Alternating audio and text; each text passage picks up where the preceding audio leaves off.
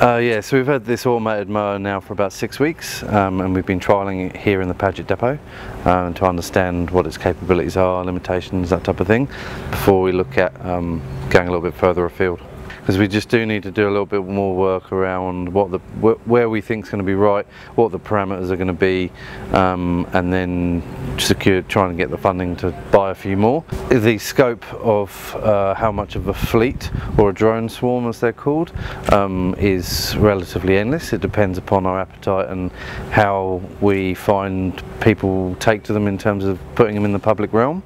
Um, I'm hoping that people in the public are going to recognise the value they add uh, and leave them well alone to do their job, like they generally leave our staff alone.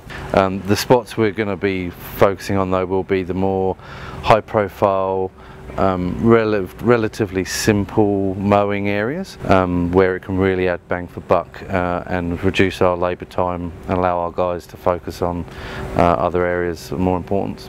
So far I can't fault it, it's been great, um, but that said it's on an easy flat site that's contained within a secure depot. So as I said, we want to push that a bit further, but the appearance of the lawn uh, is fantastic.